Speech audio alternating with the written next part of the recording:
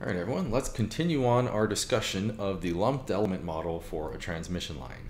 And what we're going to do now is derive the telegrapher equations, or telegrapher's equations, uh, using this model here. And all we're basically going to do is examine a tiny little sliver of our transmission line, which remember has some finite resistance, finite resu uh, inductance, some finite conductance, and a finite capacitance. And all I'm interested in is how does the voltage and the current change across this tiny little infinitesimal piece. And once we uh, derive some equations for that, we're going to see what happens when we squish this little delta z down to infinitesimally zero. And what we'll get is a pair of coupled partial differential equations. So starting with the voltage here, we're going to examine Kirchhoff's voltage law.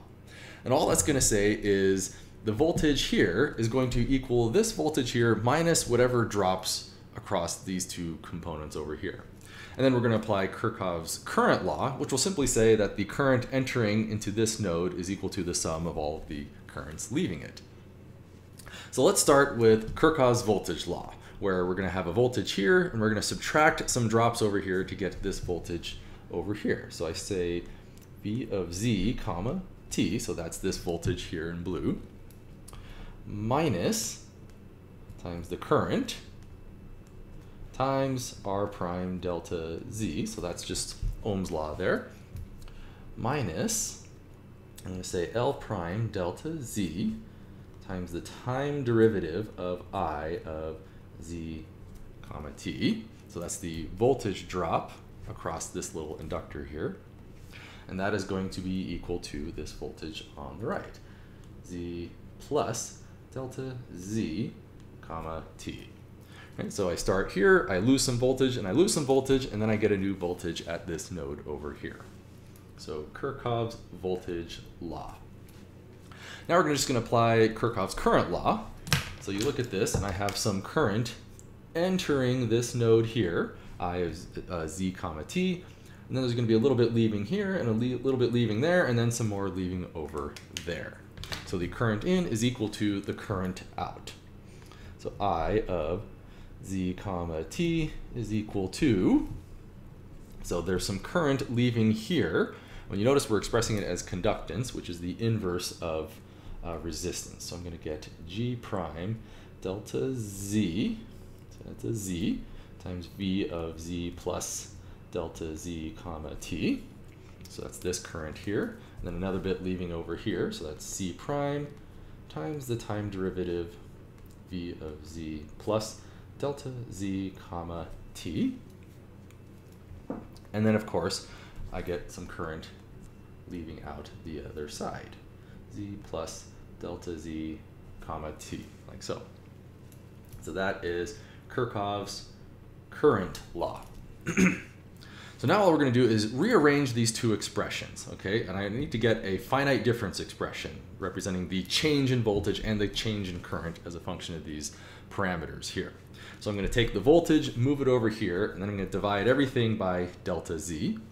And then same thing over here. I'm going to move this current over here and rearrange some terms while dividing by delta Z. Oops, so I left off my delta Z here. So C prime delta Z. I hope you can see that.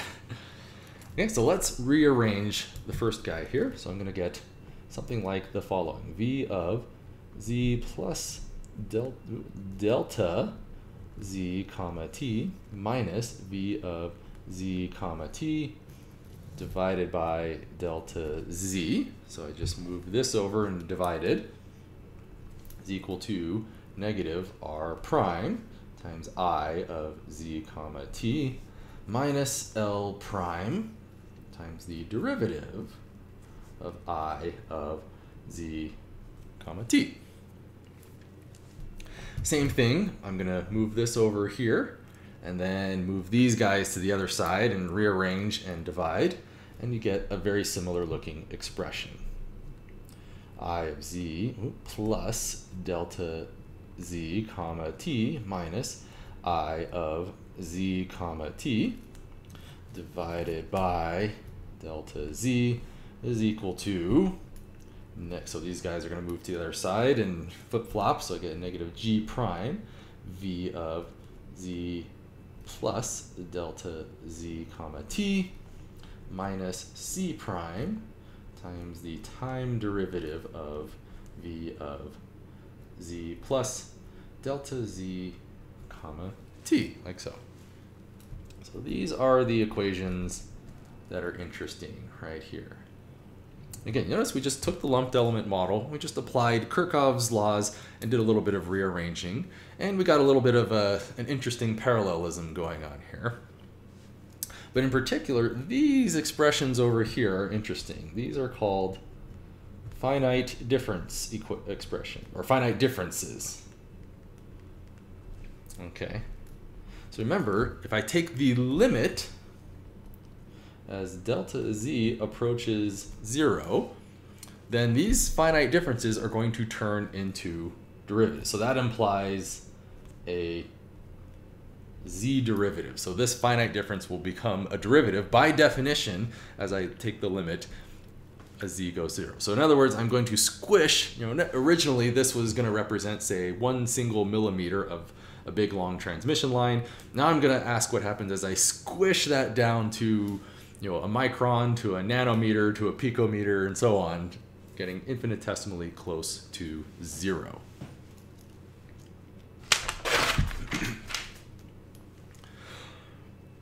okay, so if I'm going to convert these expressions from finite differences into derivatives, everywhere we see uh, this term here, this is going to become a derivative with respect to z, and this is also going to be a derivative with respect to z. So what we'll get is our two very simple equations. I'm going to get the partial derivative of v with respect to z. So notice I'm going to just leave off the dependence here, but if you want, in the back of your mind, you can remind yourself that v and i are technically functions of z and t. This is equal to negative r prime i minus l prime times the partial derivative, because we have multiple variables now, of i, like so. And again, in the back of your head, i is actually a function of z and t, but at this point, it's very common to just kind of keep that in the back of your head and not explicitly write it. Otherwise, it gets very clunky to have to keep writing that down. And likewise, we look back here, we have this second equation. I'm going to let this one turn into a derivative, and I'm going to drop the functional dependence as well. And we get a very straightforward equation. Partial with respect to z is equal to negative g prime v, so that's a g, minus c prime times the partial v with respect to t. Okay? So these equations are very, very important in transmission line theory. These are called the telegraphers. or I like to say telegrapher because I think it sounds cool, but it's probably correct to say telegraphers equations. And these are kind of like the, the fundamental governing equations for transmission line theory. Now, technically, we could technically we could just kind of leave it as is and get a lot of mileage out of these expressions. Uh, but what we really care about is what happens in sinusoidal steady state. So remember SSS, right? this is a very uh, important condition. Sinusoidal steady state. Okay, so this is the time domain. You can also think of this as a frequency domain. Uh, but all that means is in this condition is every time you see a partial with respect to t, a time derivative, that is going to turn into a j omega. so that should be pretty familiar. You've done this before. So all that means is these two time derivatives here turn into j omegas, and I can rewrite these equations just a little bit in the following form. So partial v with respect to z, and I'm now going to put a little tilde on here, and this is just a mental reminder that this is now a phasor rather than a time domain expression. This is going to equal negative r prime, I'm going to do a little bit of algebra here, algebra here, plus j omega L prime times I, and again, put a little tilde there. And same thing down here, partial I with respect to Z is equal to negative G prime plus J omega C prime times V. So these are now the telegrapher equations in their frequency domain or their phasor form. So phasor form, you can also hear phrases like frequency domain, like that, and that's in contrast to time domain up here. Or you can just call it sinusoidal steady state. Okay, so in the next lectures, we'll do some mathematical uh, operations on this to derive some very interesting facts.